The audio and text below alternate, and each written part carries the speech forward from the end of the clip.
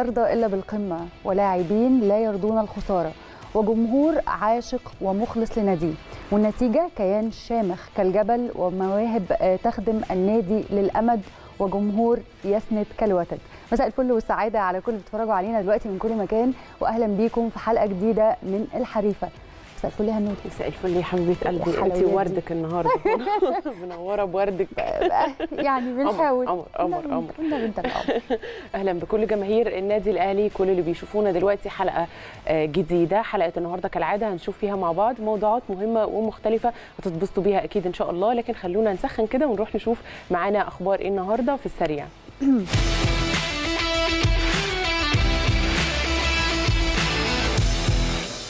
أول خبر معانا النهارده عن مارسيل كولر المدير الفني للنادي الأهلي اللي قرر امبارح إنه يدي اللعيبة آه، راحة سلبية لمدة 48 ساعة بعد رجوع- رجوعهم للقاهرة وانتهائهم من بطولة كأس العالم للأندية.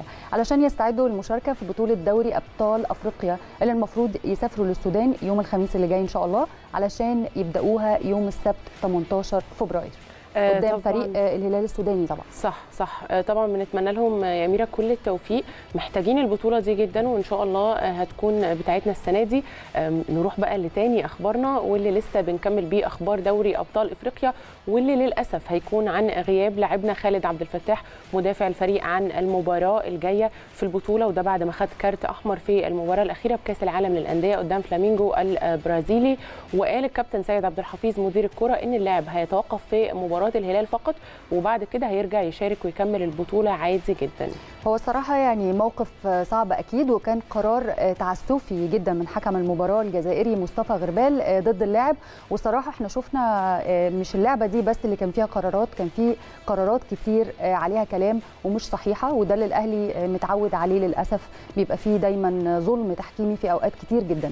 المهم خلينا نروح من خالد عبد الفتاح لعمرو السولية لاعب وسط الفريق واللي كان اتعرض ل- لإصابة في عضلة السمانة في البطولة وقال الدكتور أحمد أبو عبلة طبيب الفريق إن اللاعب هيستمر في برنامجه التأهيلي والتدريبي بعد الرجوع للقاهرة علشان يتخلص من الإصابة ويخضع لفحص طبي في تدريبات الفريق يوم الأربع اللي هو إن شاء الله بعد بكرة علشان يحسم موقفه هل هيقدر يلحق ويشارك في مباراة الهلال السوداني ولا لأ. يعني بإذن الله آه، يقدر إن هو يرجع بالسلامة ويشارك في المباراة الجاية. عمرو السولية واحد من أهم اللاعبين في الفريق وبنتمنى له آه، الشفاء السريع إن شاء الله يا رب. نروح بقى من كرة القدم ليد رجال الأهلي اللي فازوا امبارح على فريق الجزيرة بنتيجة 39 22 في دور ال 16 من بطولة كأس مصر بقيادة مديرهم الفني الإسباني ديفيد ديفيز آه، عشان نتأهل آه، بالفوز ده للدور الثمانية. ونضرب موعد جديد مع فريق هليوبوليس. هيكون ماتش قوي جدا بس إن شاء الله نقدر نفوز ونعدي منه. خلصت أخبارنا تعالوا بقى نروح للجزء الثاني من فقرتنا تعليق في صورة.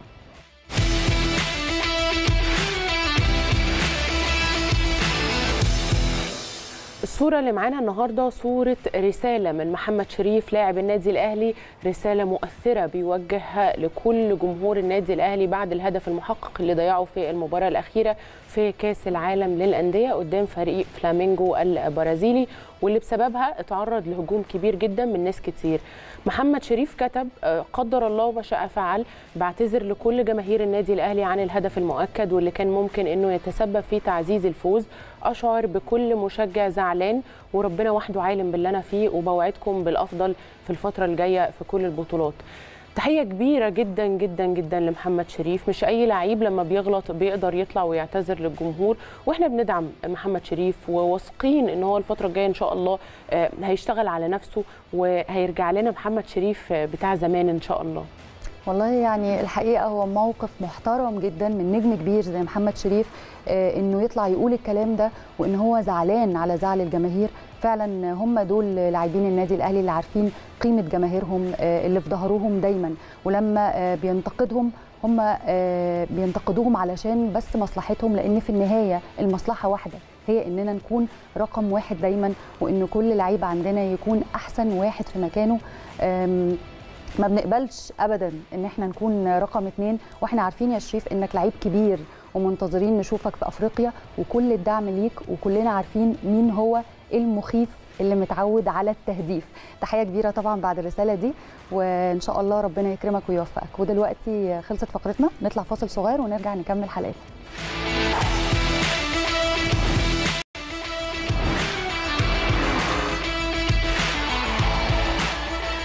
رجعنا لكم مرة تانية وصلنا دلوقتي لفقرة المناورة.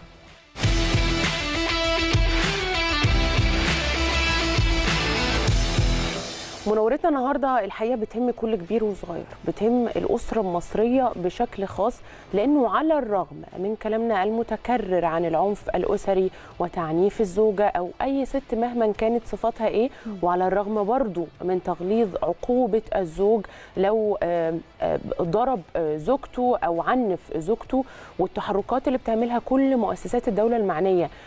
بحال الأسرة والمرأة المصرية للأسف لسه بنسمع قصص وحكايات بائسة ملهاش نهاية عن العنف اللي بيتم ممارسته تجاه الزوجة. مم. يعني في في مليون ست حوالي في حوالي 8 مليون ست مصرية بتتعرض للعنف و86% من الزوجات بيتعرضوا للضرب. وده بحسب آخر إحصائيات للمجلس القومي للمرأة.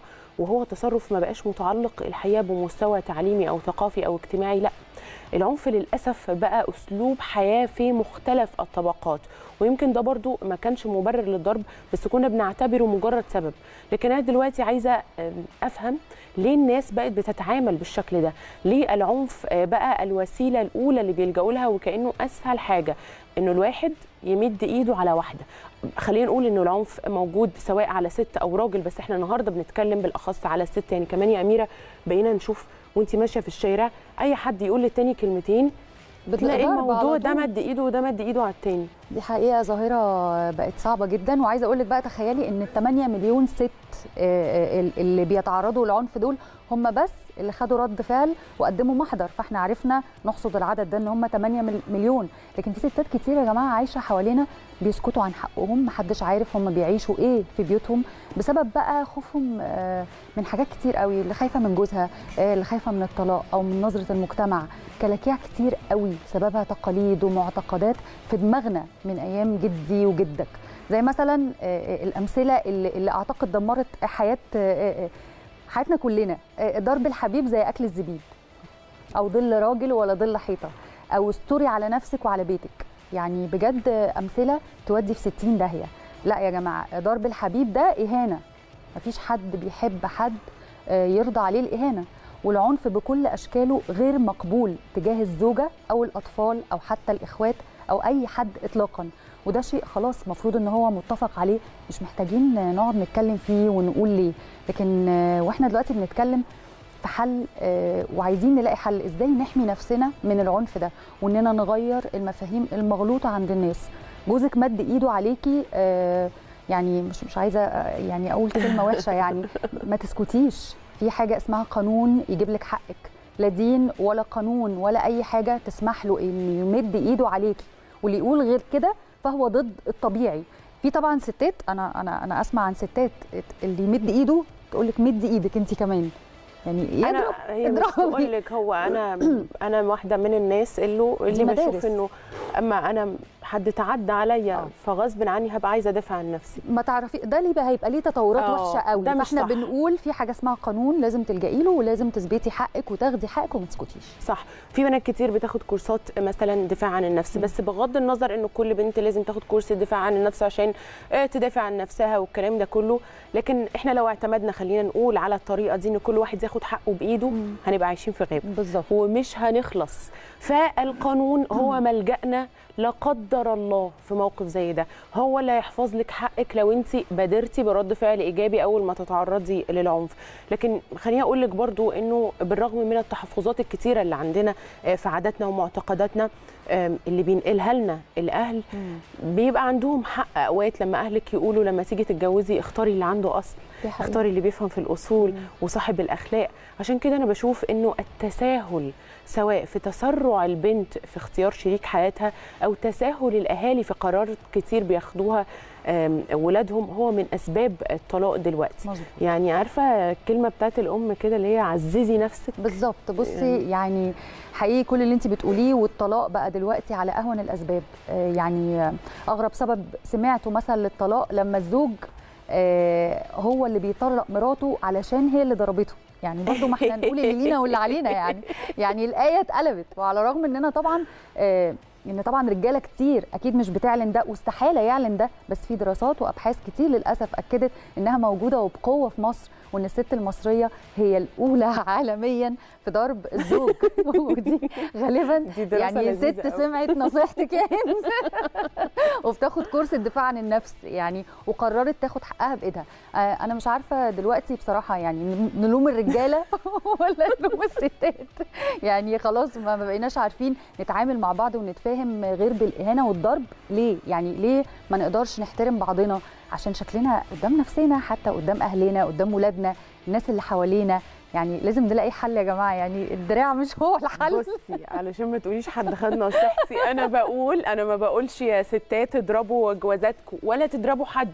بس أنا بقول إنه أنا لازم أدافع عن نفسي. حقيقي. يعني أنا ما ينفعش أقعد اتضرب واقعد في كورنر برضو ما هو يعني لا أدافع عن نفسي طبعا أدافع عن نفسي ده أساسي أه. أدافع عن نفسي. بس فكرة ضرب بضرب دي ما تعرفيش هتوصل لفين لأن ممكن هو أكيد أغبى منك. يعني أكيد اللي قدامك ده كراجل أكيد في قوة في فرق. فأنا طبعاً. ممكن أتغابى بحركة فيتغابى هو أكتر فموت أنا. خليني على قدي يعني. صح هو العنف عمره ما كان طريقة لحل كل الم... لحل أي مشكلة أصلا مم. حتى مع الأطفال بنقول ده العنف بيقضي على خيط الصلح والحب والود وعشان كده نقاشنا النهارده لأي أب وأم أي زوج وزوجة لسه بيبدأوا حياتهم وحتى أي طفل بيسمعنا يا ريت نحكم عقلنا يا ريت نحكم ضميرنا ونفكر 100 مرة قبل ما إيدك تتمد على حد بغير وجه حق. وأتمنى السلام والحب والود دايما يبقى مالي بيوتنا جميعا. فعشان نعرف آه، الحل دلوقتي هنطلع فاصل ونرجع نشوف الحل إيه. استنوني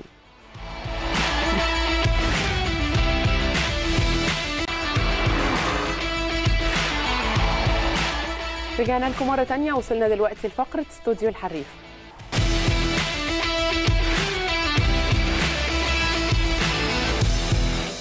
بنكمل مع حضراتكم موضوع مناورتنا علشان نعرف الحل في العنف الأسري.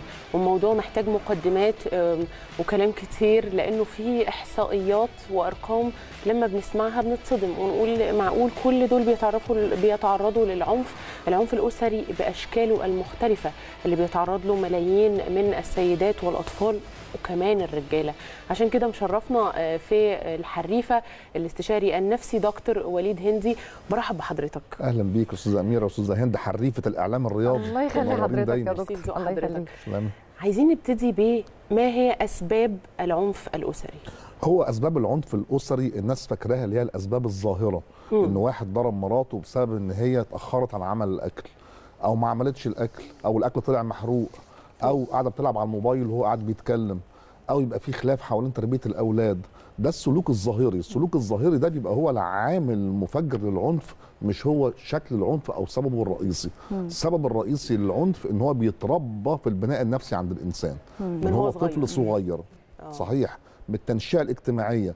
إن الأب والأم بيضربوه بينكلوا بيه بينعتوه ببعض الألفاظ الغير مستحبة أو الغير مرغوبة. في عنف جوه البيت من الأب والأم فبيطلع بناؤه النفسي متشبع بالعنف وعنده الصورة النموذجية للتعامل مع الزوجة هو العنف. فلما بيجي يكبر بيعمل بما يسمى بإعادة إنتاج السلوك. يعني اللي آه. اتربى هو عليه بيرجع يعمله تاني مع مراته مرة تانية. ده بيبقى سبب رئيسي عنده. بلس إن هو حتى في المدرسة لما بيمارس سلوك عنف أو يمارس عليه عنف والأب والأم ما يتعاملوش معاه بصورة تربوية ويزودوا العنف عليه عنف بمعنى إيه؟ لما يجي ابني من المدرسة مضروب الأم أول حاجة بتعملها دلوقتي على group ال moms تمسك المدرس أو المشرف أو إدارة المدرسة وتسلخه على ال group فهنا عملت العنف مقابل عنف ما عالجتش العنف اللي اتمارس على ابنها. فبالتالي بيطلع عنده إن سلوك العنف هو الأساس هو اللي بيتقدم في التعامل مع الآخر. لما بنشوف الولد بيشوف إحنا بنعامل العمالة إزاي. كان بواب عمارة أو سواق أو حتى وإحنا ماشيين في الشارع بنعامل سواقين الميكروباصات أو بعض الفئات اللي موجودة في الشارع إزاي فبالتالي بيتغذى هو كمان بسلوك العنف. مش هنتكلم بقى عن الألعاب ألعاب ال social media اللي إحنا سايبين ولادنا دلوقتي إحنا مش بنربيهم للأسف الشديد الأولاد بتنمو. يعني بنوفر له أنا تابلت وبنوفر له مدارس لغات وعربية إنما أنا قاعد متابع السلوكيات اللي عنده لأ ساب التابلت هو اللي يربي. ساب ألعاب ال video game هي اللي تربي. فبالتالي بيختزل العصبية اللي جواه. حتى أطفال كتير دلوقتي بقى عندها بعض المتلازمات السلوكية اللي بتعبر عن العنف. حركات عينيها وإيديها ورجليها فالحاجات دي كلها مختزل خبرة العنف من ألعاب ال video game أو الألعاب اللي بيشوفها. فبيطلع برضه بناءه النفسي مشبع بالعنف plus إن هو ممكن الشخصية ال personal نمط الشخصية بتاعه يبقى عنيف. يعني أنا إيه اللي يخليني أنا بضرب مراتي واللي جنبي ما بيضربش؟ أنا نمط الشخصية عندي قد يكون عدواني بطبيعتي عدواني لا أقدم الحلول المنطقية ما عنديش قدر من المرونة الذهنية وبالتالي بيتقدم عندي سلوك العنف قبل أي اختيار آخر. أو بنشوف بعض الرجالة النرجسية محب لذاته يعني عاوز يقعد الزوجة والأولاد مخدماتية تحت منه. تعمل له الأكل والشرب وتعدل له المخدة وتعمل له مساج وتغير التلفزيون على القناة اللي هو عاوزها وتشغل درجة التكييف حسب راحته هو درجة الإضاءة في الأوضة زي ما هو عاوز هو نرجسي هو أناني. فالنرجسي والأناني ده البيرسونال بتاعه بيكون أكتر الشخصيات المهيئة لممارسة العنف زيه زي الإنسان العدواني أو السيكوباتي اللي دايما يعني يتمتع إنه يخترق القوانين والأعراف ويدهس العادات والتقاليد وبناء عليها مش بيحافظ على بنت الناس اللي جاية له من بيت محترم فبينكل بيها بلس إن عندنا شخصيات سادية بطبعها. يعني في راجل بطبعه يستمتع والزوجة بتقاسي كل ألوان الألم والعذاب حتى لو معنوي أو نفسي مش شرط العنف يكون مادي.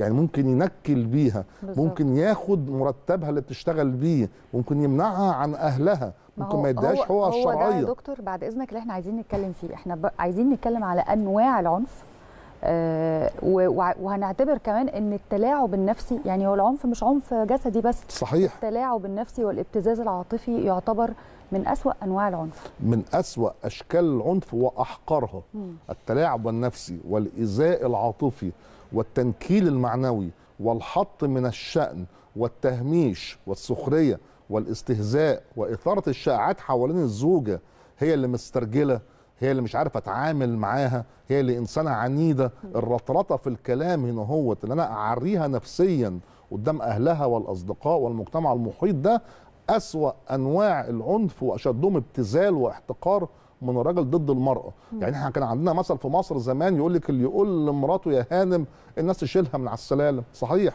عزز مراتك.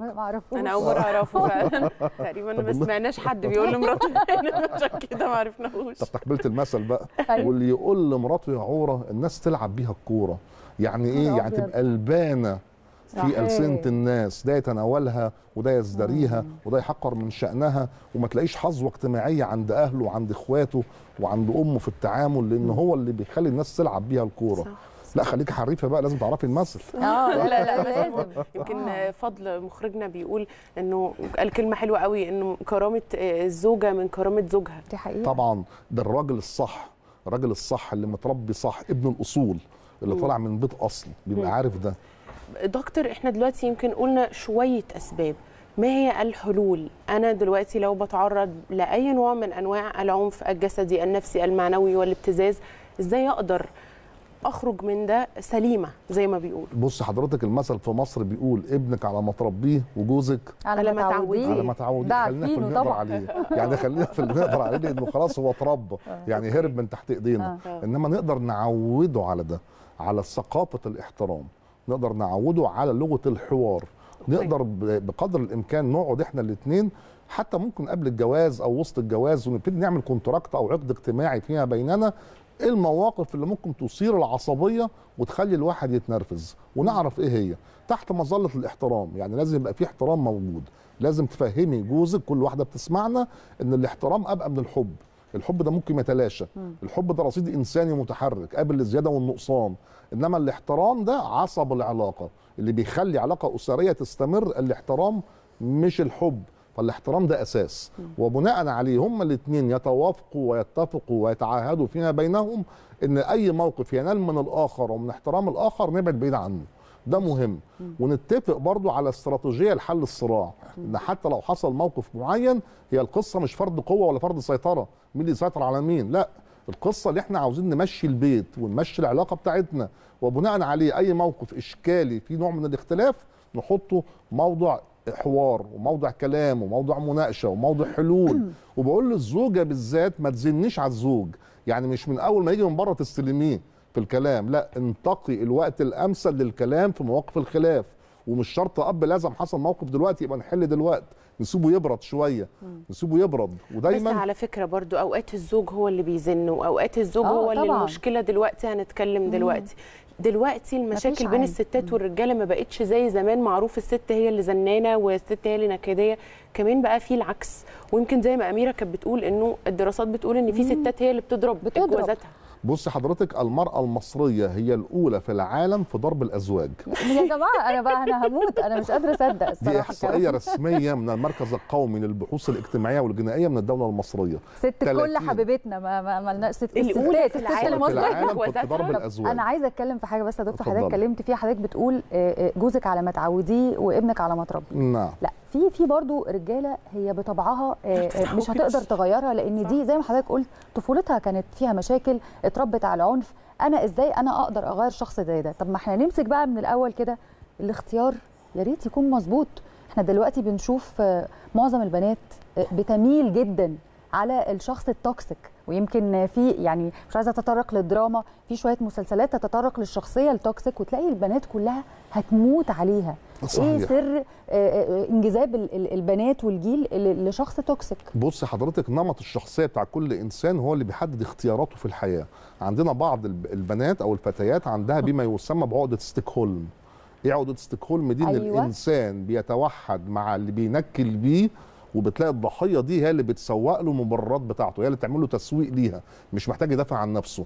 الشخصية اللي هي عندها ستوكهولم دي أو عقدة ستوكهولم دي من أكتر الشخصيات اللي بتنجذب للراجل اللي هو ال toxic أو العلاقات السامة. أو بعض الشخصيات المازوخية اللي عندها متعة في تعذيب الذات فبالتالي يرميها في الحيطة ترد له تاني. هي مستمتعة بده. انت شفتي الكلام ده طيب؟ آه لا. آه. شفتيه؟ شفته شفته ده فعلا آه،. ده, ده موجود. أو بعض الأنماط اللي اتربت في بيئة فيها تعذيب وفيها إهانة وفيها تنكيل فمعتقده إن ده النموذج المثالي بالنسبة للراجل فبتصدق إن هي تلاقيه. ولكن لما بتنزل على أرض الواقع بالمناسبة وتعاني الأمرين منه وتلاقيها علاقة سامة مستنفذة منتهكة مستغلة ومستغلة للشخصية اللي قدام منها بيجي عليها وقت بتقول له أعطيني حريتي أطلق يدي إنني أعطيت ما استبقيت استبقيت شيئا شيئا. آه. من قيدك أدمى معصمي. لما أبقيه وما أبقى علي الله الله دكتور الله. كمان خليني أضيف على كلام حضرتك حاجة يمكن شفتها في بنات كتير إنه في بنات كتير بتحب تعيد قصة باباها ومامتها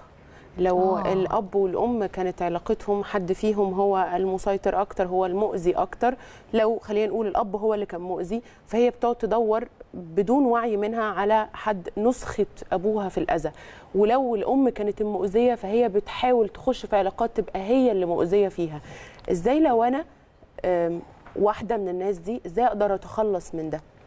بص حضرتك غالبا لما بتطلع هي من عند أب مؤذي أو ام مؤذية يا إما بتتوحد معاهم في السلوك فبتطلع بتعمل إنتاج السلوك هو هو زي ما حضرتك تفضلتي وقلتي أو بيجي لها بما يسمى بال gamophobia أو الخوف من الجواز أو رفض الجواز. وبالتالي لما بتيجي تتجوز هي اللي بتفتعل المشاكل لأن هي رافضة من جواها في بنائها النفسي في آه، شكل الجواز بشكله التقليدي أو المعتاد. وبناء عليه إحنا دايما بنقول أن التجارب الإنسانية متفردة. يعني حاولي تصنعي قصة حياتك وتكتبي السيناريو بتاع حياتك بالمترادفات اللي أنت عاوزاها بالشكل اللي أنت عاوزاه. قسمي فصول حياتك زي ما أنت عاوزة. يعني دايما أقول لأي حد بيسمعنا أنت يوسف احلامك أنت اللي بتفسر وأنت اللي بتبشر وأنت الله. اللي بتغزل خيوط العلاقة. فشوف أنت عاوز شكلها إزاي بصورة نموذجية بقدر الإمكان تحرر من أعباء الماضي. وخلينا نتفق انه كلنا تربينا بالمحاولة والخطأ.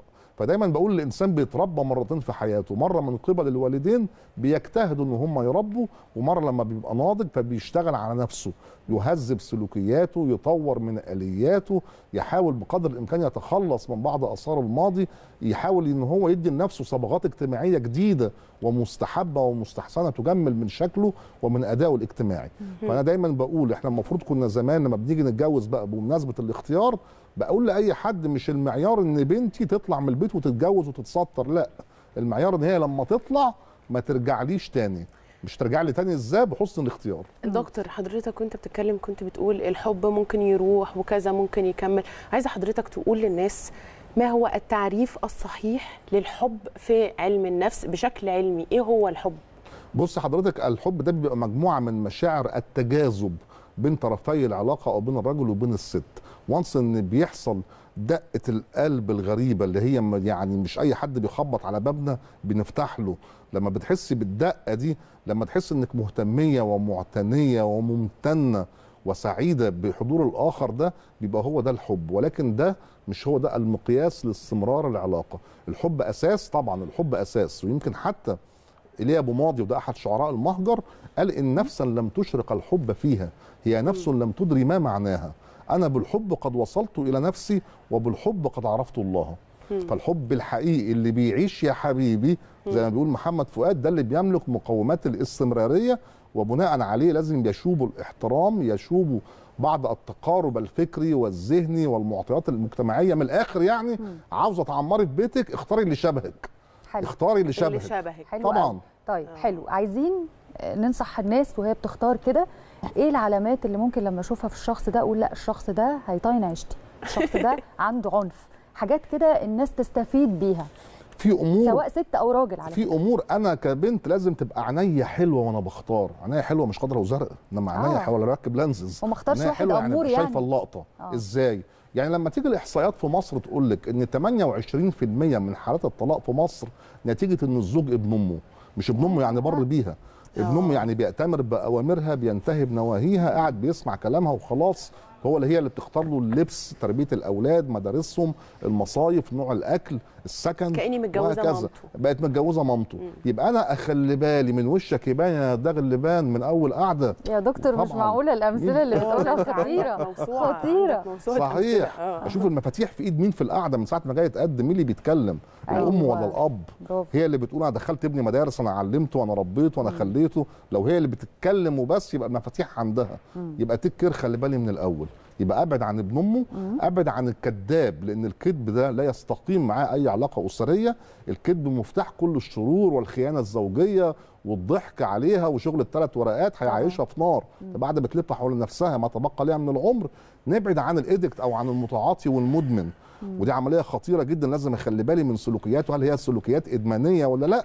نبعد عن معلش يا دكتور نقف. عند موضوع الإدمان ده علشان بس آه، مؤخرا للأسف بقيت بشوف ناس بتقول إنه الإدمان بس هو المخدرات وإنه لو هو مدمن آه، كحوليات أو مدمن الإدمان خلينا نقول إنه الإدمان. الإدمان بمفهومه الأوسع ايا كان يطلع مخدرات يطلع حشيش يطلع طوابع يطلع بانجو يطلع كل المخدرات الرقمية أو الموسيقية اللي موجودة دلوقتي. صح. يطلع م... يطلع مدمن قمار بيلعب قمار ما القمار ده برضه إدمان. إدمان صح. ده ده مؤشر لعدم سواء الشخصية. لأن هيترتب عليه بقى مشاكل جامة جدا. هيترتب عليه العنف وهيضربك. هيترتب عليه الخيانة الزوجية. هيترتب عليه العجز الجنسي. هيترتب عليه الفضيحة والتجريس الاجتماعي لأن ممكن طبعاً. يقع في أي موقف قانوني غير مرغوب هيترتب عليه إنه هيفلس اقتصاديا هيترتب عليه إنه هيستدين وممكن يبيع عفش بيتك وشبكتك ويضحك عليك ويقول لك. هنعمل مشروع حلو. الأطفال فطبعاً هيتدمروا كمان يبقى مفيش مستقبل بقى وبعد. الإدمان إيه كمان حاجات نبعد اللي ملوش كبير يعني اللي يجي يقول لك خدي بالك بقى أنا ماليش كبير ما حدش عارف يعمل معايا حاجة امال لما احب اكلم شعب مصر اكلم مين. زي الفيلم. ده كلام. ابعدي عن اللي بيقول لك أنا ماليش كبير. لا ده نخاف منه. لازم يبقى ليه مرجعية.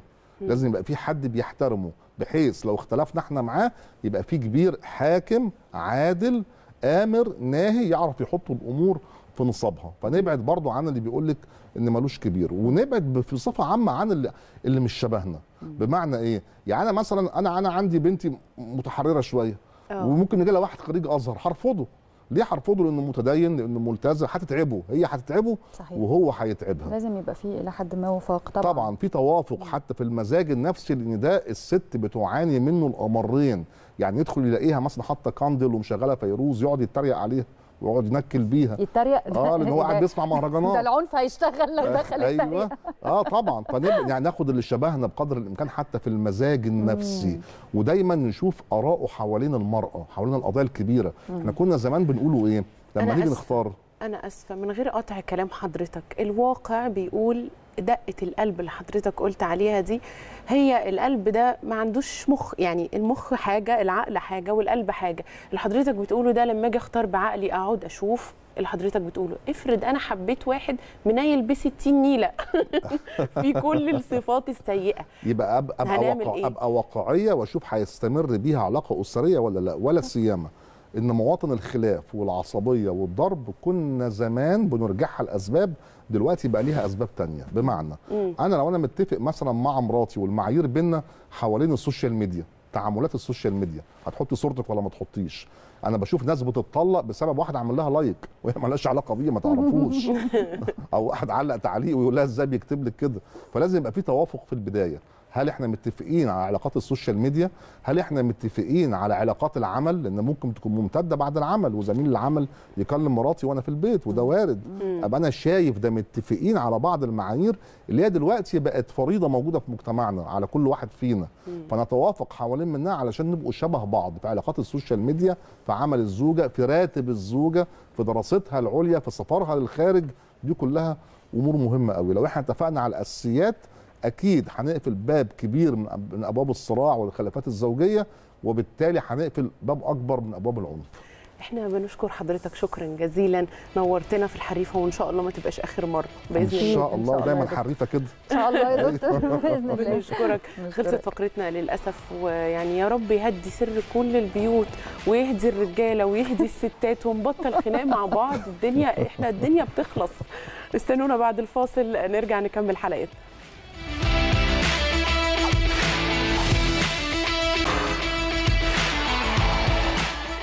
ورجعنا لكم مرة تانية. وصلنا معاكم دلوقتي لفقرة الستات بتلعبها صح.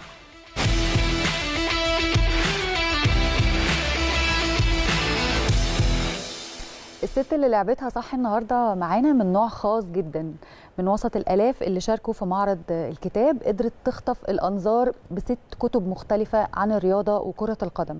ثلاثة منهم بيتكلموا بس عن أسرار الأهلي وكواليسه. وإصدارها الأخير كمان كان كتاب باسم كيف غيرت كرة القدم حياة البشر واللي جواه قصص وحكايات ملهمة لينا وليها هي كمان. النهارده ومعانا ومنورانا الكاتبة الصحفية بسمة صبحي. أهلا بيك يا بسمة. أهلا بحضرتك. منورانا. ميرسي ده نوري. آه عايزه أعرف منك كده يعني تقولي لي بداية كتابة الرياضية اللي انت ابتديتيها كانت إزاي؟ هي تقريبا كانت في أواخر 2009 آه كنت آه بكتب آه، post عادي على الفيسبوك على group لمجلة كلمتنا.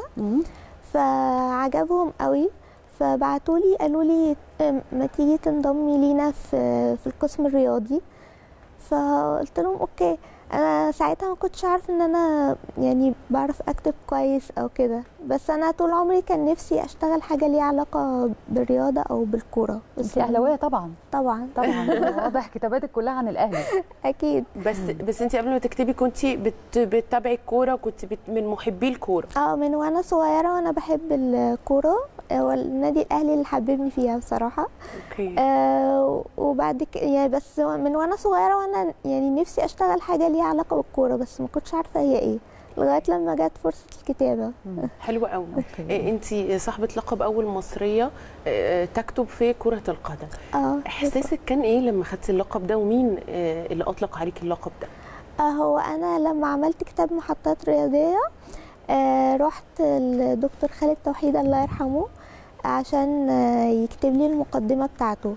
فبعد ما قراه كده آه قال لي إن أنا أول بنت في مصر تكتب آه كتاب رياضي وفعلا وافق يكتب لي المقدمة ك- وكتب لي فيها إن أنا أول بنت في مصر تكتب كتاب رياضي.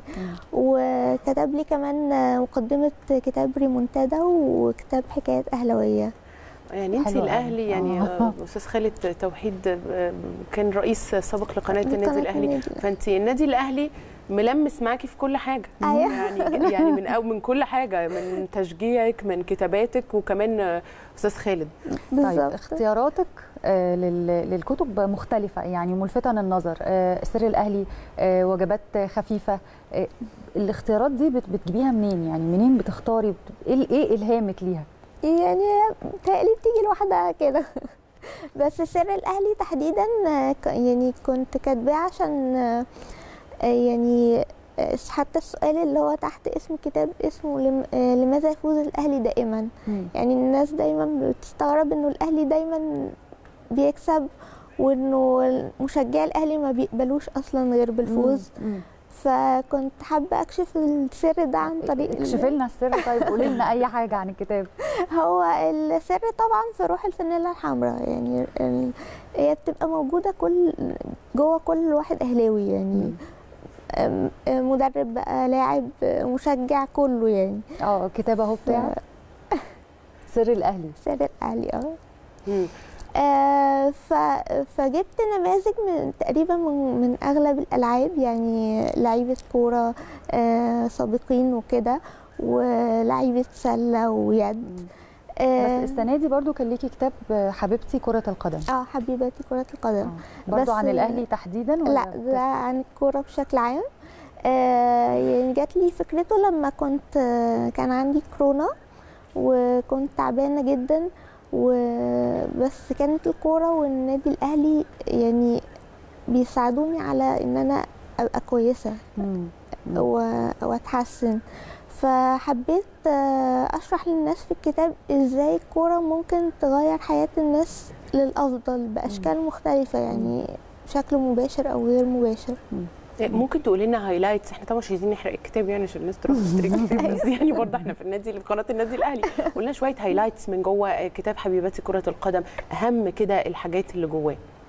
يعني مثلا آه، في قصة اسمها الاستيقاظ على نغمات كرة القدم. الاستيقاظ من الغيبوبه على نغمات كرة القدم. نعم. أنا ودني دي مش بسمع بيها كويس. قلت يمكن المشكلة أنا. آسفة. أو ال earpiece في الودن دي. عايزاكي تعلي صوتك عشان أنا excited قوي آسفة. ودني بايظة. قولي لي. كملي. آه، فهي ال- بتحكي قصص آه، عن ناس فاقوا من الغيبوبة بسبب الكورة. إيه ده؟ طب ثانية واحدة دي قصص حقيقية ولا آه دي قصص حقيقية حصلت. طب يعني اتفضلي. في الغيبوبة بسبب الكورة؟ آه. ده أنا يعني بعد الشاشة في ولد صغير آه، بولندي اسمه ديفيد. آه، كان عنده عشر سنين. آه، عمل حادثة بالع- بالعجلة بتاعته ودخل في غيبوبة فترة طويلة. مم. آه، فالأطباء و يعني حاولوا يخرجوه من الغيبوبة بطرق طبية أو تقليدية بس برضو ما ما قدروش يعملوا كده. ففي دكتور اقترح عليهم آه، إن هم يعني يشتغلوا على الجانب النفسي شوية. أوكي. فقالوا لأهله إن هم يكلموه ويحطوا له السماعات في ودنه آه، لما يكون في ماتشات لريال مدريد أو البرتغال. لأن هو بيحب كريستيانو. رونالدو. فساعتها كان كريستيانو لسه في الريال. آه، ف... ففعلا آه، قعد ثلاث أسابيع و... وأول ما كريستيانو جاب جون مع منتخب البرتغال في مرمى السويد والمعلق بدأ يهيص وكده ويقول اسم كريستيانو فالولد فعلا. تهزري آه وبعد وبعديها بفترة كريستيانو لما س- يعني سمع حكايته وكده آه، دعاه هو وأهله إن هم يحضروا ماتش و- وسلم عليه وتصور معاه الله. طب بسمع أنا يعني بصي قماشة الكتابة كبيرة قوي ودايما اللي بيكتب بيبقى عايز يحتفظ بالقماشة دي علشان ما يقفش ما يعطلش. إيه سبب اختيارك إن انت تكتبي في الرياضة بس؟ آه، وأنا بحبها بحبها قوي أنا يعني. عايزة أسألك أنا مش عارفة دراستك أصلا كانت إيه؟ أنا خريجة كلية حقوق. حقوق؟ آه. okay. آه، أنا كاتبة كتاب سابع هو مش رياضة. هو عن الكنيسة المعلقة و وعن مجمع الأديان آه، كتاب تاريخي يعني. okay. أنا بحب أكتب في كل حاجة بس أنا الرياضة حابة يعني آه، في كتابك الأخير أنت كنت كاتبة حاجة عن آه، نجيب محفوظ. آه. آه احكي لنا عن دي. هو نجيب محفوظ وهو صغير في الابتدائية آه، يعني راح عند صديق لأخوه. وكان صديقه ده يعني آه، قدامه ملعب قدام البيت ملعب أو حاجة زي كده. فساعتها اتفرجوا على ماتش ما بين فريق مصري وفريق إنجليزي. كان okay. ساعتها الاحتلال الإنجليزي وكده. فالفريق المصري كسب الفريق الإنجليزي. ساعتها نجيب محفوظ اتفاجئ إنه يعني ممكن نكسب الإنجليز في حاجة ايا كانت هي إيه حتى لو كانت كورة يعني. وعجبه جدا فكرة اللعبة وعجبه حسين حجازي. و... ولما روح قرر إن هو هيبقى لعيب كورة. وقال لباباه يجيب له كورة وفعلا آه، بدأ يتدرب هو مع نفسه في البيت وكده. وفعلا بقى يعني بقى يلعب كورة كويس وبقى يعني عمل فريق اسمه قلب الأسد في. العباسية وبقوا يلعبوا كده أنا أنا عندي فضول بس أعرف ح- ال- ال- الحكاوي الصغيرة دي انت بتجيبيها منين؟ آه. بتحضر إزاي؟ كنت لسه أسألها والله. إزاي؟ أميرة إحنا دماغنا بقت بتفكر مش في نفس هينفع. الحاجة في نفس الوقت. ده خطر. إزاي بقى؟ هو أنا كمان بحب القراية قوي. ف يعني بقرا كتير جدا. ف يعني بقرأ مقالات كتير على الإنترنت وبتابع الأخبار بشكل يومي لأنه أنا عندي بيج على الفيسبوك اسمها محطات رياضية أنا اللي. ماسكاها محطات رياضية آه فيها 160 ألف متابع ما شاء الله. هيبقوا 162 وبقى يبقى جمهور الاهلي ان شاء الله معاكي إن النهارده شاء الله آه ف يعني طبيعة شغلي فيها بيخليني أتابع بشكل يومي ال- الأخبار مم. مم. وأنا بحب قوي القصص التاريخية والحاجات دي بحب أعرف يعني بصي دور. طيب خلينا نضيق الزاوية شوية. كتاب حبيبتي كرة القدم. أنا قررتي إنه أنا هعمل كتاب اسمه حبيبتي كرة القدم أو كتاب جديد. قعدتي تلمي المعلومات دي إزاي؟ الغيبوبة وكذا والناس وقصص الحياة للناس الكتير قوي اللي اتغيرت من الكورة. آه هو يعني دايما أنا لما بتعجبني قصة أقراها بحتفظ بيها على الكمبيوتر. حلو. فلما بتجيلي فكرة الكتاب نفسه بقى هتكلم عن كذا بتبدأ ال- القصص دي ت- تيجي في. دماغي آه وأدور عليها عندي على الكمبيوتر وبعدين أبحث بقى بشكل أوسع عن عن كل قصة عن لوحدها مم. أوكي طيب إحنا دلوقتي في 2023 لسه في العقلية بتاعه إن المرأة ملهاش في الثقافة الرياضية ولا في النقد الرياضي ولا في الكتابة الرياضية. أكيد واجهتي نقد من النوع ده. تعاملتي معاه إزاي؟ آه في الأول كنت يعني كنت بتضايق من فكرة آه، لا انت مكانك المطبخ وم- وإيه اللي دخلك آه، في موضوع الكورة وكده. بس كان آه، بيتقالك يعني. آه كتير. وعلى البيج كمان. آه. انت مكانك المطبخ. المطبخ آه مش عارفة. ماله المطبخ حلو مكاني المطبخ ومكاني هنا ومكاني عادي. يعني المطبخ. يعني. عادي يعني. يعني أنا مكاني. المفضل في البيت المطبخ. عادي. بالظبط. مش عارفة آه إيه علاقة ال- المطبخ بالموضوع؟ يعني مين اللي آه. مضايقهم. بس ف بس بعد كده بقى يعني بقى حاجة عادية يعني بقت حاجة عادية ولا خلاص انت مبقاش يفرق معاكي الكلام ده خلاص آه. يعني لسه بتواجهي النقد ده ولا الفكر اتغير لا لسه برضه لسه آه أوكي. بس أنا بقيت أطنش لا برافو انت شغلك هو اللي بيتكلم عنك يعني بالظبط. مش آه. محتاجة ان انت فعلا تلتفتي للكلام ده خالص بسمة انت اهلاويه بنسبة 300 ألف في المية أي. هل شايفة إنه الصحفي الرياضي أو الكاتب أو الكاتب عامة انتماءاته لا تغير شيء في كتاباته. يعني خليني أقول لك بمعنى أوضح. هل أنت شايفة إنه الكاتب يقدر يكون محايد لو ليه انتماءات آه طبعا. هو المفروض إنه يعني يفصل شغله عن التشجيع. أوكي. يعني أنا عادي ممكن أكتب مقالات عن نادي الزمالك أو الإسماعيلي أو كده. واكتب أخبار عنهم مفيش مشكلة. بس هل هتكتبي كتاب عن نادي الإسماعيلي نادي الزمالك أي نادي من الأندية المنافسة للنادي لا الأهلي؟ بصراحة لا. مش هتعرفي تبقي محايد آه يعني ممكن يعني في كتاب محطات رياضية كنت كاتبة حاجة عن نادي الزمالك بس كنت كاتبة يعني عنه عن النادي الأهلي عن المواقف الوطنية اللي في تاريخ الناديين يعني. فممكن حاجة صغيرة لكن كتاب كامل صعب ما تقدريش. طيب إيه المشاريع اللي بسمه صبحي بتحضر لها الفترة اللي جاية؟ وهل برضو هيكون ليها علاقة بالأهلي ولا؟ هو أنا نفسي أعمل كتب كتير قوي عن النادي الأهلي يعني. إيه اللي نفسك تعمليه؟ تاريخ- للأهلي؟ آه تاريخ آه. النادي آه، فيه حاجات كتير قوي لازم تتحكي يعني. مم. والكتاب هو أكتر حاجة بتفضل باقية سنين طويلة يعني. آه وأنا بشكل عام نفسي آه آه، يعني أنشر فكرة الثقافه الرياضيه بشكل أكبر في مصر يعني الناس تبقى قاعدة مستنية انه كتاب رياضي ينزل عشان تقرأه وتنبسط بيه. يعني كل كتبي بكتبها بشكل قصصي عشان تبقى لطيفة يعني آه. حتى لو حد ما بيحبش الكورة ممكن يقراها وينبسط بيها زي يعني في كتاباتك. مثلا بتتناولي الماتشات المباريات الأهداف اللعيبة يعني بت... عايزة تأرخي بأي شكل؟ آه بالظبط. يعني آه، هتلاقي آه، آه، قصص عن بطولات النادي التاريخية وح- وحاجات عن لعيبة طبعا. كابتن بيبو كابتن صالح سليم كابتن آه، متعب. ناس كتير طبعا كتبت عنهم في حكايات أهلوية ويعني بحاول إن الموضوع أكتبه بشكل قصة عشان يبقى مشوق أكتر يعني. يبقى خفيف على الناس. آه انت. كنت بتقولي حاجة من شوية مهمة قوي كنت بتقولي الثقافة الرياضية. شايفة ماذا ينقص الثقافة الرياضية في مصر؟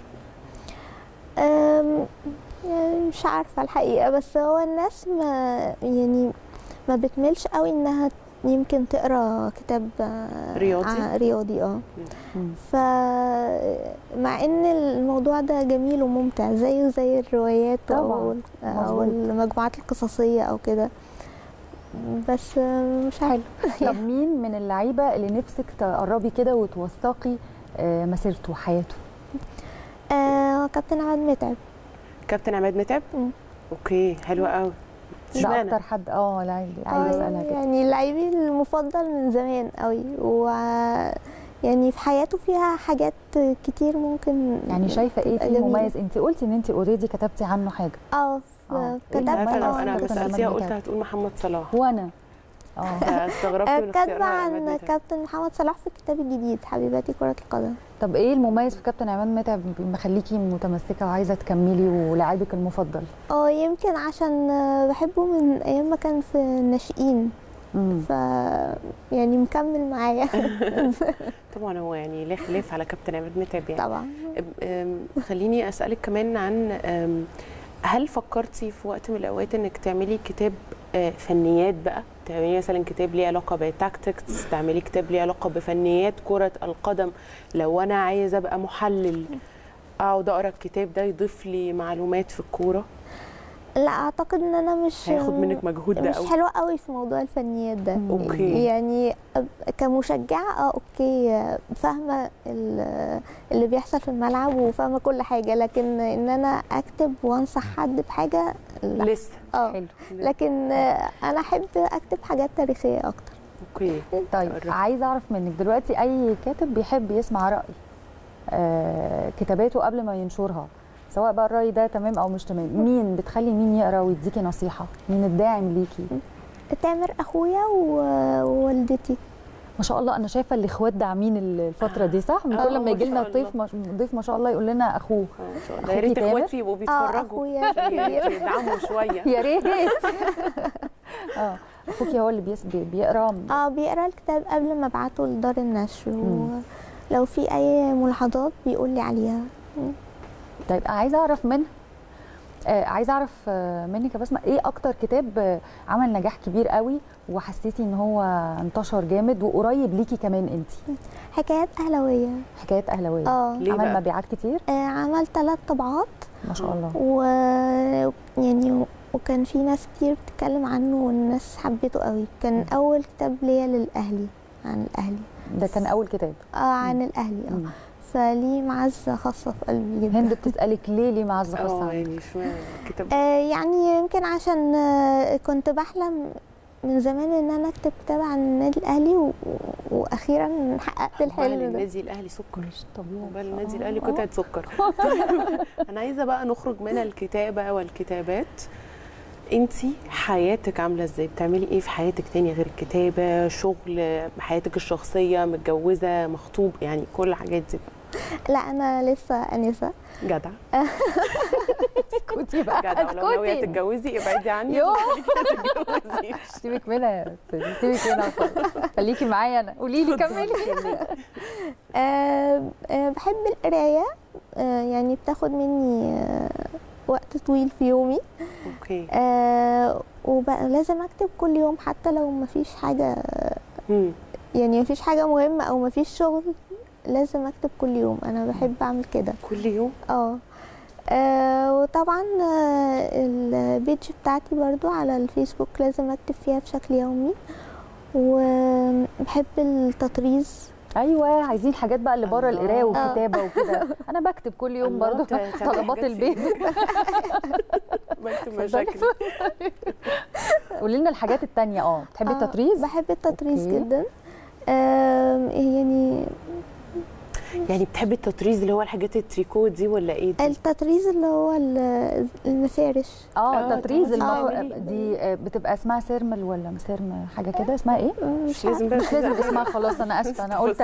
قلت أقول تفصيلة طلعت غلط. أنا فهمت قصدك اللي هو المفرش بيبقى عليه وردة كده وانت تحطي آه خرز. لا. خلاص يا أستاذة هند مش. لازم التفاصيل دلوقتي. فاهمة قصدك. طب ليكي في المطبخ بقى؟ بمناسبة الناس اللي بتقول لك أصلا بحب الست يبقى ليها في المطبخ آه. بصراحة. أنا بحب آه. يعني ليا بس مش مش قوي. بس بعرف أعمل أكل. بسمة انت نورتينا والله ونورتي. قناة الأهلي وإحنا مبسوطين بيكي وبحبك للأهلي ده. أنا اللي مبسوطة جدا وإن شاء الله كنت تشرفينا تاني إن شاء الله. إن شاء الله. ميرسي جدا. آه للأسف خلصت فقرتنا. سعداء جدا جدا جدا بوجود بسمة معانا النهارده. آه بنتمنى يكون عندها عندنا أكتر من بسمة في مجال الكتابة الرياضية. فخورين بيكي آه،. وبمشوارك ويا رب دايما انت والأهلي والرياضة المصرية في نجاح وتقدم. دلوقتي آه، خلصت فقرتنا نروح لفاصل ونرجع نكمل حلقتنا. استنونا.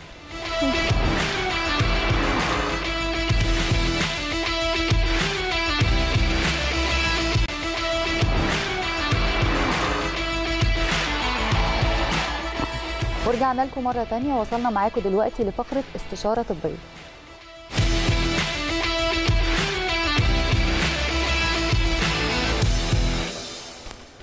استشارتنا الطبية النهاردة وكالعادة ليها علاقة بالأكل والأكل آه، بالنسبة لنا هو المتعة والشيء الأساسي اللي بنظبطه وبنقعد نحضر له في كل مناسبة في حياتنا سواء خروجاتنا أو تجمعاتنا العائلية وغيرها كتير. بس للأسف أغلبنا ما بيقدرش يتحكم في إحساسه بالجوع وكمية الأكل اللي بياكلها. وده طبعا آه، بيخلي الشخص يزيد في الوزن بشكل سريع وخصوصا في فصل الشتاء وهو أكتر آه، فصل مشهور بالإحساس دايما بالجوع وفي نفس الوقت هو برد ومن كتر آه، آه، ما بنبقى بردانين آه، بنبقى عايزين ناكل. لكن عايزة أقول لكم إن هو من أكتر الفصول اللي بيزيد فيها معدل الحرق بشكل كبير جدا. طب إزاي نقدر نسيطر على الإحساس بالجوع وكمان نستفيد من زيادة الحرق عشان نحافظ على وزننا؟ اللي عنده زيادة طبعا في الوزن يقدر يتخلص منها بمنتهى السهولة في فصل الشتاء. ده اللي هنعرفه مع ضيفتي اللي منوراني دكتورة دينا أبو سعود المستشار الطبي لشركة آه، بايو ناتشرالز مساء الفل يا. أهلا بيكي. إيه ده ده ده احتفالا بالأهلي ده ولا إيه؟ طبعا. الرابع على العالم حاجة قليلة. احتفالاً، آه، ودي دي لذيذة موت. لا لا ده, ده احتفالا قالت لي لو هي دخلت بحصول الأهلي على المركز الرابع عالميا. حاجة حاجة الناس اللي عالمية تحتفل. العالميه يا جماعة. جدع والله. والله آه، والله تمام. تمام يا دكتور. عايزين نعرف منك إيه العلاقة اللي بتربط بين إحساس الجوع والشتاء؟ وإزاي فكرة إن الشتاء بنحرق أكتر دي؟ هي مشكلة إحساس الجوع ده الحقيقة هو بيبقى صيف شتاء. يعني يمكن والله العظيم أنا ما رضيتش أقول كده. إحنا على طول جعانين. طب إيه إيه أسباب الجوع؟ يعني إحنا أنا عندي كذا سبب بيؤدي إلى الجوع. أول حاجة الإعتماد الأكبر في الأكل على النشويات. ناس أوكي. بتعتمد اعتماد آه، شبه كلي على النشويات. ده بيأس- ده بيدينا احساس بالجوع رهيب لأن النشويات أنا عندي نشويات معقدة ونشويات بسيطة طبعا المعقده يعني صحية أكتر من النشويات البسيطة. النشويات تعلي لي مستوى السكر في الدم وتديني طاقة لفترة معينة وبعد كده تروح منزلة لي السكر مرة واحدة فأحس بالجوع وابقى عايزة آكل. دي حاجة. تاني حاجة لما قلت لي يا أميرة موضوع الشتاء إحنا في الشتاء بننسى نشرب مية والجسم بيحصل له جفاف. okay. أحيانا كتيرة إحس- إحساس آه، الجوع بيبقى مرتبط إن أنا عطشانه بس الجسم بي- بيترجمها إن أنا جعانة. okay. ف- آه، sorry المخ. اللي بيترجمها إن أنا جعانة. ممكن ناس كتير تبقى عطشانه والمخ يجي يترجم إن أنا جعانة. في ناس كتير لما بتبقى جعانة وبتشرب مية تقول لك أنا شبعت. أيوة. إن هي أصلا في جفاف ومحتاجة مية. okay. ده تاني سبب. ممكن أقول ثالث سبب آه، التوتر وقلة النوم. قلة النوم والتوتر هيعلي لي مستوى الكورتيزول في الدم. آه، هرمون الكورت- الكورتيزول هو اللي بي- بيعلي لي جدا شراهتي في الأكل. فباكل. آه، آه، يمكن هي دي أهم الأسباب اللي على طول بحس إن أنا جعان مهم قوي في موضوع الأكل ما اعتمدش على الكر- الكربوهيدرات على فكرة يا جماعة مهمة جدا. يعني أنا بسمع ناس تقول لك أنا أنا أمنع كارب. دي دي دي, دي. دي كارثة. لأن الوقود الأول للطاقة في الجسم هو الكربوهيدرات هو البنزين بتاعي. هو الوقود ممكن الطاقة آه، تطلع من الدهون والبروتين لكن الوقود الأول في الجسم هو الكربوهيدرات. لكن إزاي آكل الكربوهيدرات؟ دي دي, دي الفكرة. آه آه، آه، مفيش حاجة اسمها وأنا باكل أعتمد على حاجة معينة. يعني ما ينفعش أعتمد على الكربوهيدرات بس ما ينفعش أعتمد على دايت اللي إحنا سمعنا عنه دهون بس. سمعنا كتير عن diet. يا ساتر أنا مش مصدقة. هو لذيذ طبعا بس. بص آه، دي دي آه. إحنا عندنا في الطب بنسميه ال- fad diet اللي هو ال- ال diet اللي هو الموضة أو ال diet البدعة. ونجيب celebrities ونقول إن ال celebrity خست عليه. آه. هي القصة إن هم بيخسوا. بيخسوا. كتير. بس آه، ال diets دي بعض من أنواع ال diet بتخسسك كيلوهات كتير قوي بغض النظر أنت حالتك الصحية إيه. آه، طبعا دي بغض. النظر. آه. انت تعبانة. آه، لا قدر الله حموضة الدم عليت. كارثة. مش القصة إن أنا أخس وتبقى حالتي صحية زي الزفت. القصة إن أنا أخس بصحة. بصحة ومش لازم آه، اتارجت إن أنا أخس 20 كيلو في الشهر. حلو جدا لو خسينا 5 كيلو في الشهر. ده حلو قوي. حد طايل؟ حلو حد 5 طايل. كيلو الشهر ده أنا 5 عايزة كيلو. شهر بس. آه بتكلم بجد. فلازم الناس برضو يبقى عندها الوعي ال- طيب يا دكتور دلوقتي في ناس إحساس الشبع عندها مرتبط بالكربوهيدرات. يعني أنا واحدة من الناس دي لازم في الفطار يبقى فيه عيش كتير لازم في الغداء يبقى أبيض ولا أسمر؟ عيش بلدي بلدي. برده كده. أيوه. في الغداء يبقى فيه مكرونة. تاكلي تاكلي تاكلي يا هند عيش؟ بس مش لازم أخلص رغيفين على الفطار. لا، لا، ربع رغيف. مع بروتين البيض البيض المسلوق آه آه مع ألياف. مهم قوي لو أنا أكلت كربوهيدرات أحط سلطة معاه عشان ده يحرق ده. okay. والسلطة تحسسك بالشبع. لأن كلها ألياف. أوكي. فالألياف أصلا بتحسس بالشبع وبتقعدي شبعانه لفترة طويلة. ما بقولش إن إحنا نوقف عيش لأ كربوهيدرات مهمة بس نقنن. هي قصة بقى يا جماعة في قصة إن أنا أقنن شهيتي. مش أسدها. يعني أنا ضد إن أنا أقول أنا أقفل شهية البني آدم لأن الشهية دي نعمة. لكن المهم إن أنا أعرف إزاي أقننها بعوامل مساعدة. حلو. جينا بقى للعوامل المساعدة آه. ونخش في الجد. عوامل مساعدة والنبي تخليني آه، آه، أحس بالشبع شوية أقدر آه. آكل تساعدني في الحرق. كل الحاجات دي لما ما بتحصلش بيحصل إحباط طبعاً. في موضوع الخسسان طبعا. آه آه الحقيقة شركة Bio Natural مقدمة كورس آه كويس جدا. أنا بسميه يعني كورس قوي وعمل طفرة في عالم التخسيس آه كورس اسمه Bio Pesta. Bio Pesta من من من أحسن الكورسات اللي تقدر تحجم لي قصة الشهية بتاعتي. هو الكورس ده بيعمل على كذا حاجة. اقلل سن يعني مش امنعها اقلل الشهيه آه، أمنع امتصاص الدهون أعلي معدل الحرق وأقعد فترة أنا مش حاسة إن أنا جعانة. ده أساسيات ال ال ال diet. مهم قوي إن مع كورس بيستا طبعا لو هتكلم على بيستا بيستا هو المسؤول على آه، المساعدة على إنقاص الوزن لأنه عبارة عن ألياف. عشان كده بقول الألياف مهمة جدا. آه، الألياف اللي داخل بيستا من الشوفان من القمح من قشور السيليوم. آه، بيستا عبارة عن أكياس بطعم التفاح. الكيس بدوبه كويس قوي على كوباية مية كبيرة مش بقين كوباية حلوة. آه، قبل الوجبه الوجبات الرئيسية بتاعتي بنص ساعة. الألياف دي بتعمل إيه؟ بتاخد حيز في المعدة. فبدل ما أنا باكل حلة رز لأ هاكل خمس ست سبع معالق رز لأن الكربوهيدرات المفروض تبقى 40% من أكلي. okay. آه وآكل بروتين وآكل بس البدل ما يبقى كان الطبق قد كده لأ بقى الطبق أقل بكتير. وهقعد الألياف دي بتقعد فترة في الهضم.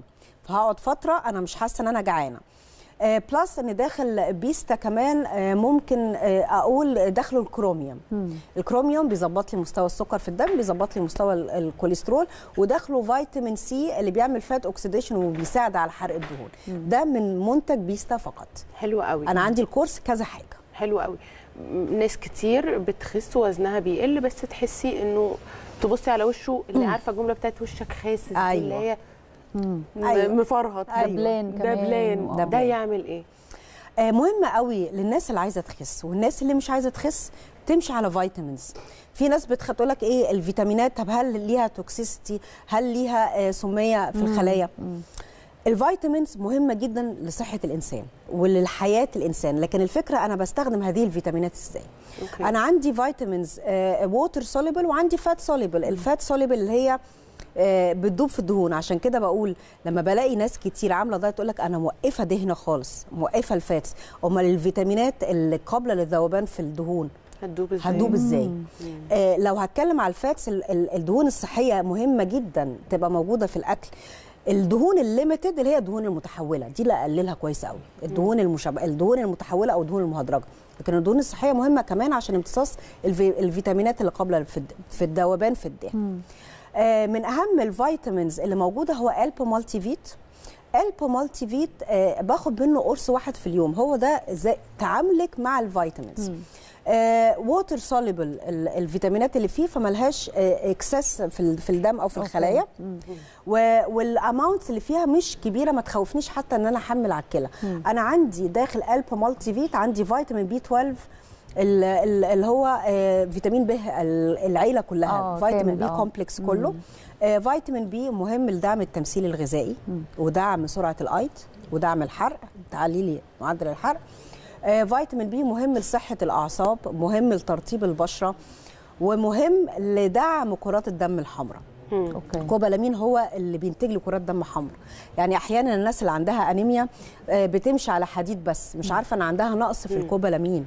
فده مهم ال cobalamin ال folic acid ال riboflavin كله موجود داخل الألب مالتي فيت مع الكالسيوم كمان آه، داخل الألب مالتي فيت وفيتامين E الأقوى مضاد أكسدة داخل الب مالتي فيت دكتور إحنا لسه هنكمل كلامنا بس معانا فيديو لإحدى الحالات اللي استخدمت الكورس هنشوفه ونرجع لحضراتكم تاني. احكي لنا قصتك مع بيستا وإزاي ساعدك تخسي. أنا اسمي آية عاطف رجب عمري 26 سنة كنت 85 وبقيت 65 الموضوع كان صعب معايا جدا في الحركة كنت مش بقدر أمشي آه، رجلي كان الوزن تقيل عليها ما كنتش بعرف آه، أخد نفسي كويس. آه، اللبس كان صعب جدا ما كنتش بعرف ألبس في سني خالص كنت حاسة إن أنا بلبس لبس ماما يعني. الموضوع كان صعب قوي في اللبس. كنت بستخدم بيستا قبل الأكل بنص ساعة. ثلاث وجبات في اليوم. قبلها كنت بشرب الكوباية. آم، لا طعمه ما كانش فيه أي مشكلة خالص. بالعكس هو طعم التفاح فكان لذيذ يعني. ما كانش عندي أي حرمان من الأكل. كنت باكل عادي كل حاجة بس هو أصلا كان بيسد الشهية. كنت باكل أي حاجة بس قليل يعني وجبات قليلة. مبسوطة جدا. آه، الحركة بتاعتي بقت خفيفة. بقيت قادرة إن أنا أمشي براحتي. آه، بقيت ألبس اللبس اللي أنا عايزاه. بنصح أي حد عايز يخس في وقت قصير آه، وبشكل صحي إن هو يستخدم بيستا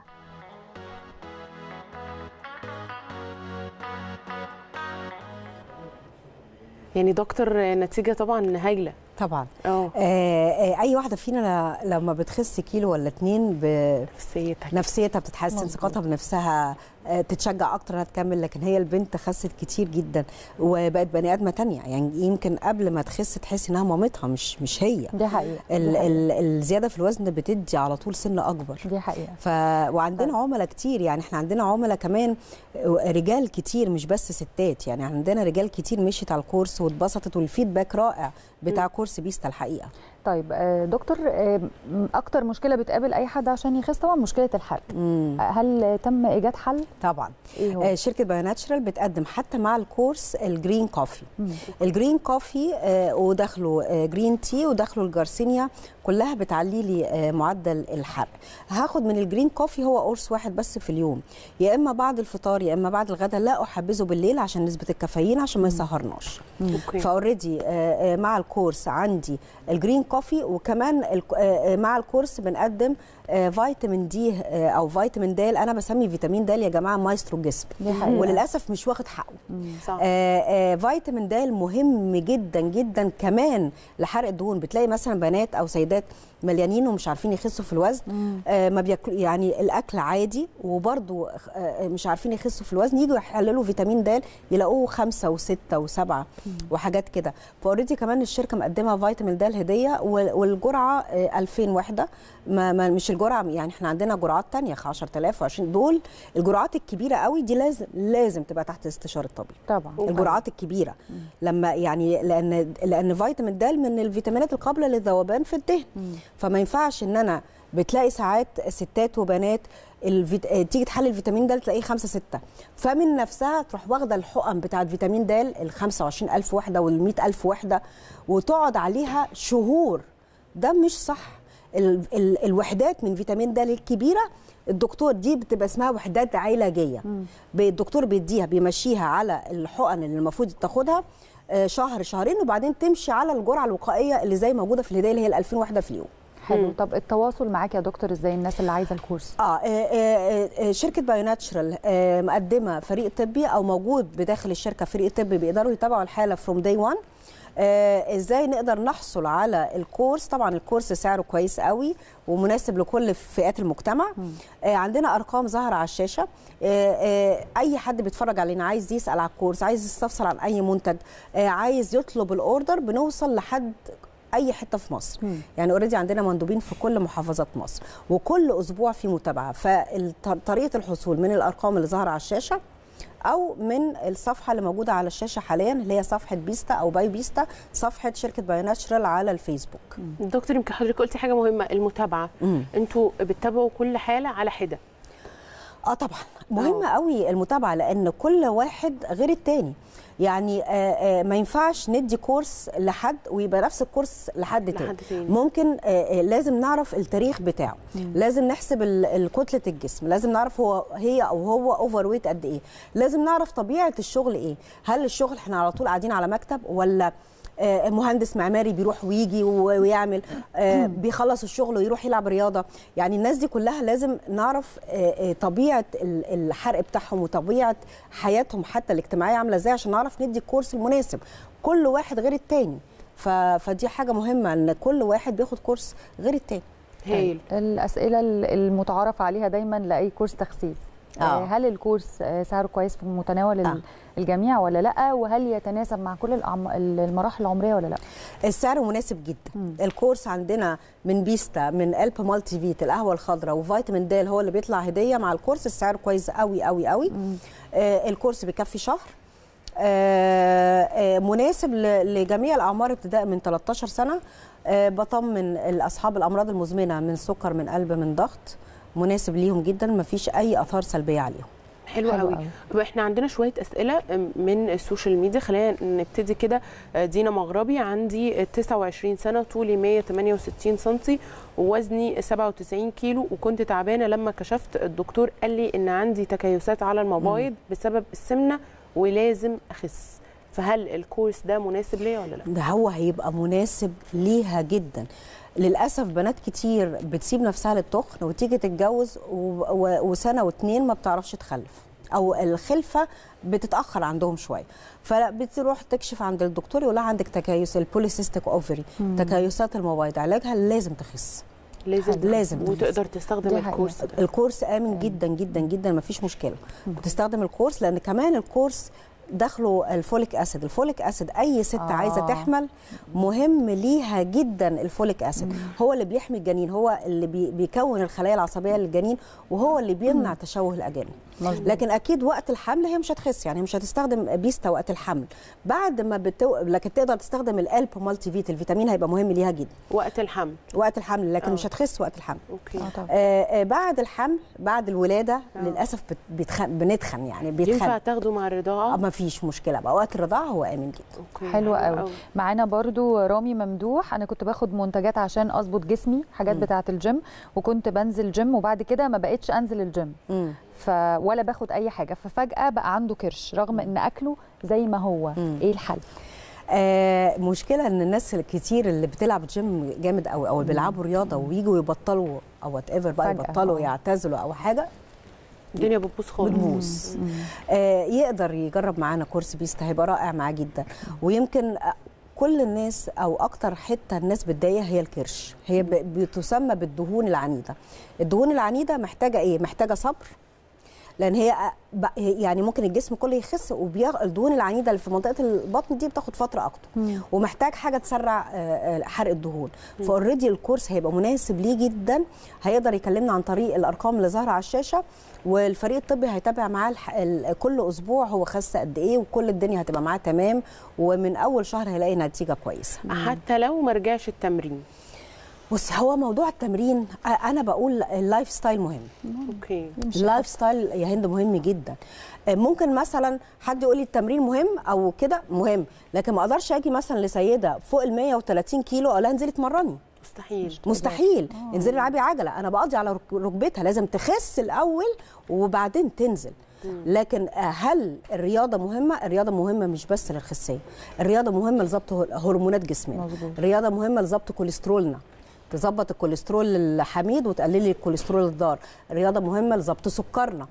الرياضه مهمة لتقوية عضلاتنا. فالرياضة دي أنا آه، بكلم بتكلم إنها lifestyle للنفسية والسعادة.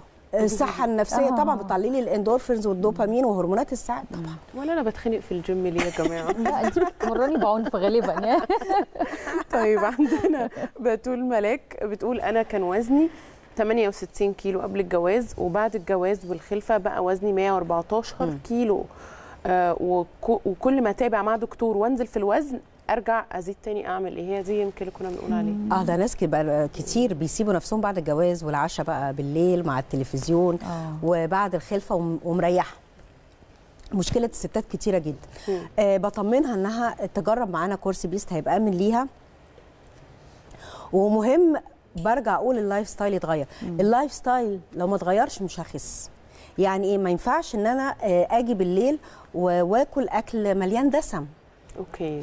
طيب أنا آه، آه، اعمل إيه عشان أنا بتبقى الشراهه بتاعتي عالية بالليل؟ باخد على طول العوامل المساعدة اللي اتكلمت عنها. بيستا باخده قبل ما ما ما, أفكر ان أنا اكل يعني وجبات. دسمة. بيستا ده لما حضرتك بتتكلمي عليه بحسه انه قريب شوية للحاجات اللي بيعملوها بس مش بس آمن اللي هو البالونة والحاجات اللي بت بت بتشبع؟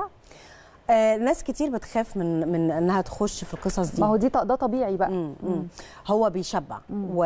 و... وألياف طبيعية. وهي فعلا نفس فكرة البالون إنها بتاخد حيز, حيز، آه، في ال... في ال... في المعدة. وبعد فترة بيبقى الحياة life يعني lifestyle يعني إيه lifestyle في equation أو حاجة في الطب آه، بتسمى ب 21 على 90 إيه بقى واحد و... إيه قصة ال equation دي؟ إن العلماء قالوا آه، علماء الطب يعني أو اللي هم التغذية. بيقول لك لو أنا how to create habit أو إن أنا إزاي أقدر أصنع عادة إن أنا آه، أحاول أمشي عليها 21 يوم. 21 يوم. آه، حد مثلا بينسى يغسل سنانه مثلا بالليل وده مش حلو لأن بقول صحة السنان مش صحة القلب. فبيحاول يخليها عادة. عدى ال 21 يوم. وعمل العادة دي لو كملها 90 يوم انسى إن هو يبطل يغسل سنانه بالليل. مظبوط. ما دام عدى ال 90 يوم يبقى بقى lifestyle دي نفس الحسبة بتاعت آه. تبطيل التدخين أي للناس. هي على فكرة برضو. بتبطيل التدخين؟ اي أي habit how. to create habit عايز يبطل تدخين بس مهم إن هو كل يوم يعمل حاجات إيجابية. أيوه. بالظبط. بس لو عدى في ال 21 يوم يوم راح قال لك هشرب سيجارة هيعيد ال يرجع. 21 يوم تاني. صح.